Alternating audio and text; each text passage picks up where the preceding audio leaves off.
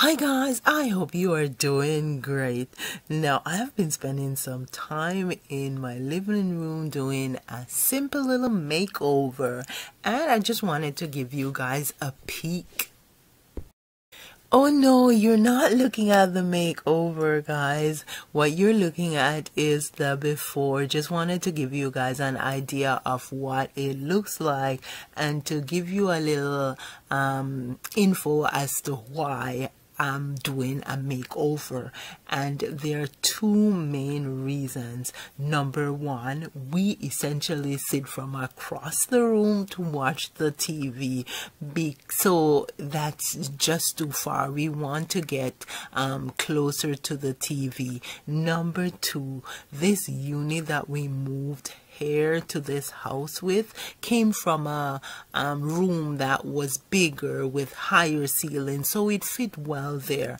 But it doesn't fit as well here. For me it is too heavy too big. The scale for this room is just off. So we will be tossing it out and you will see the new unit that we will be using guys and when I move this unit out and switch the TV over to the next wall, I'll be doing something pretty functional with that wall.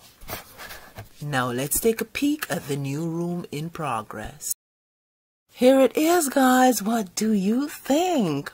Already I am liking it so much more. It now gives us a more intimate space where um, we can sit together as a family and have conversations around the TV. Now, because I'm just giving you guys a peek, I'm not going to go into detail with everything right now, but when I do the full makeover video, I'll go into some details and give you guys some tips on what I have done in the space.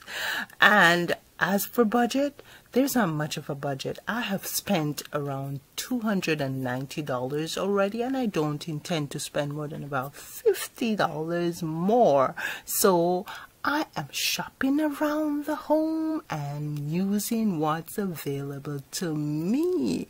Guys, that's your peek. So I'll see you guys when it's done and thank you so much for watching the videos liking sharing commenting and subscribing because all of that help the channel to grow and I appreciate you immensely.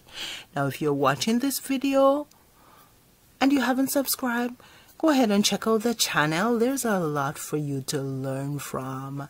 And consider subscribing. When you subscribe also remember to hit that bell notification icon so you can be notified of new videos.